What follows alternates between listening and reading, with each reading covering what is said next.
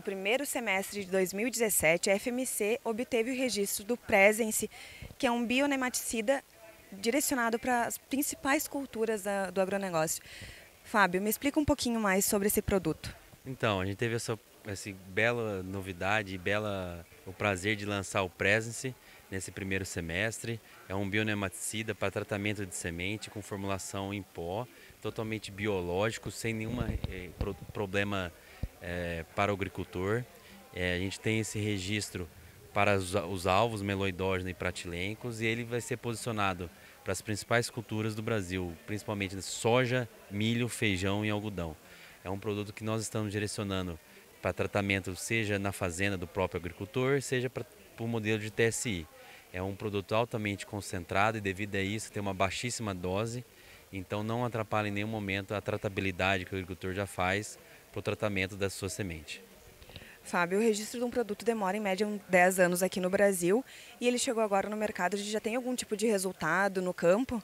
Então, na verdade, foi uma, é, foi uma grata surpresa por ser biológico e o Ministério está nos apoiando e apoiando as empresas de desenvolvimento de produtos biológicos. A adoção e o registro desse produto foi de forma muito rápida.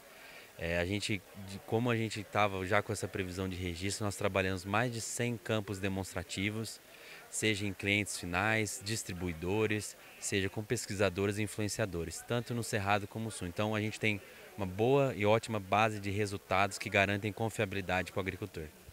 Então, falando um pouquinho sobre a feira, vocês estão apresentando aqui na Agro Brasília, na região do Cerrado. Como tem sido a visão do agricultor com a novidade?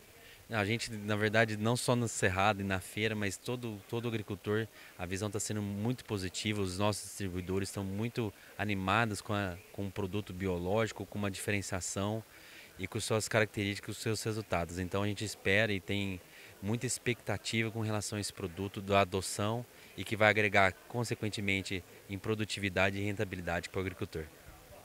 Eu conversei com Fábio Lemos, que é gerente regional de marketing da FMC, Aline Merladete, para o portal AgroLink.